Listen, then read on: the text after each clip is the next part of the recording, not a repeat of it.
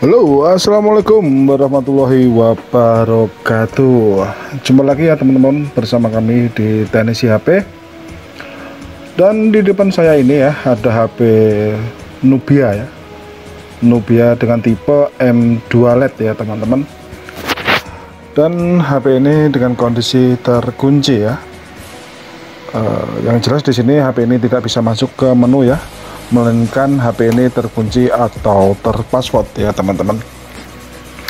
Oke dan di video kali ini ya aku akan berbagi sedikit atau aku share sedikit ya gimana cara kita buka ya atau kita bobol sandi HP ini ya teman-teman.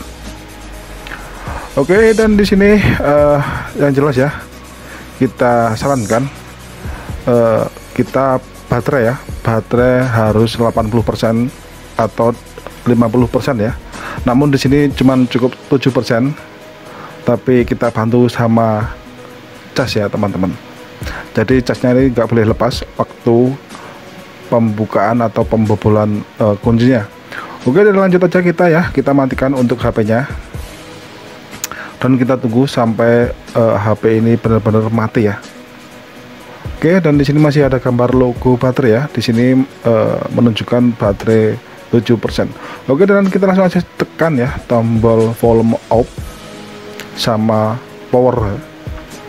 Dan kita tekan seperti ini dengan bersama ya. Oke dan sini kita lepas untuk tombol power sama tombol volume up nya ya. Oke dan di sini kita langsung aja pilih recovery ya teman-teman.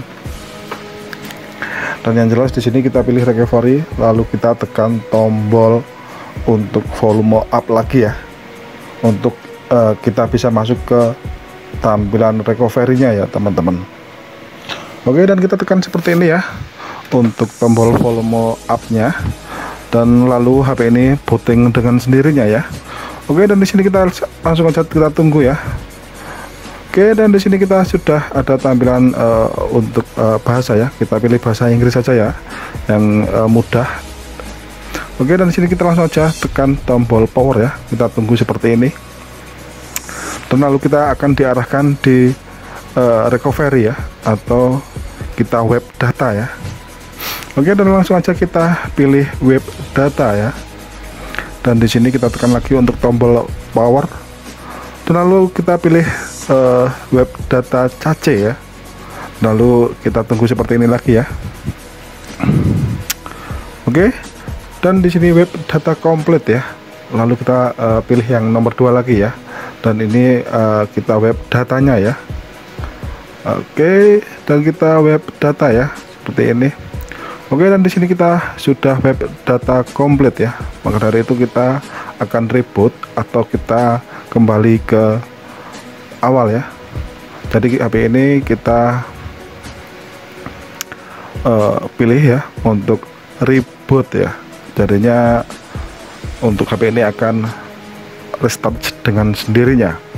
Oke dan kita tunggu ya untuk uh, eh, HP ini. Agak lumayan lama ya untuk rebootnya.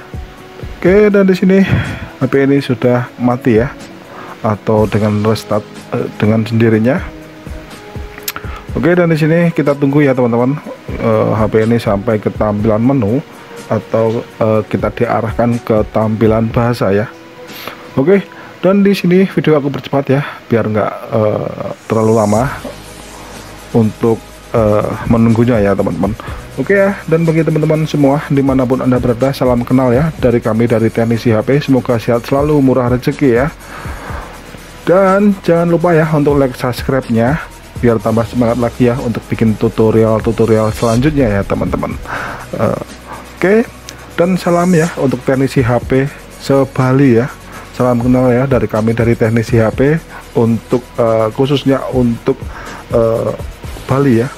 Salam kenal ya dari kami dari teknisi HP. Oke dan untuk di luar Bali juga salam kenal juga ya dari kami dari teknisi HP.